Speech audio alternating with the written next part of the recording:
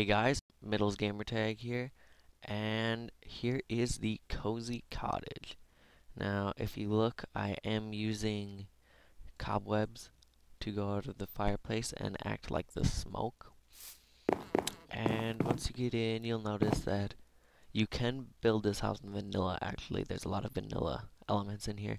But I just used forged microblocks for the little hang. I really like it.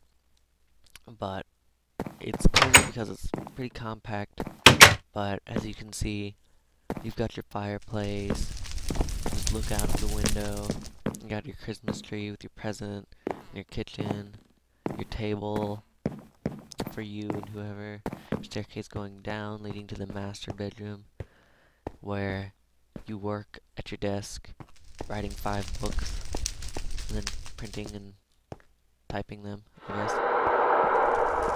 But, oh, but yeah, this is the Cozy Cottage, and this will be the next tutorial video.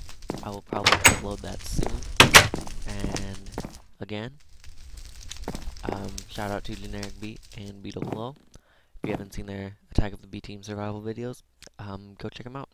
And take care, guys.